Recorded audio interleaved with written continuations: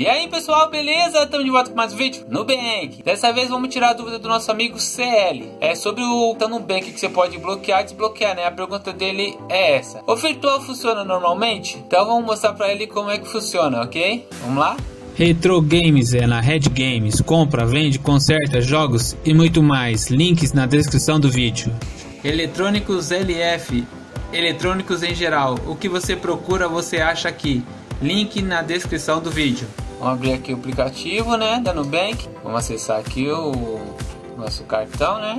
Ok. Aqui está, esse é a, a tela do cartão físico, né? Tá, tá, desbloqueado. Ele queria saber se o cartão virtual também fica desbloqueado. Então vamos entrar no cartão virtual. Ok? Cartão virtual. Como vocês podem ver, o cartão virtual está desbloqueado também. Então vou bloquear ele. Bloquear. Pronto, cartão virtual está bloqueado. Agora vamos voltar para a página. Aqui está sinalizando que o cartão virtual está bloqueado. Aí vamos entrar aqui na página principal, ó. Tá vendo? Esse bloqueio é do cartão físico, né? Então, cada um tem o seu, né? Você pode estar bloqueado o, o cartão virtual e estar tá usando o físico e deixar desbloqueado. Acabou de usar, você pode bloquear que não tem problema. Você pode bloquear e desbloquear à vontade, tá? É, cada um tem o seu, cada um é independente, beleza? É isso aí, pessoal. É muito simples, fácil e rápido, beleza?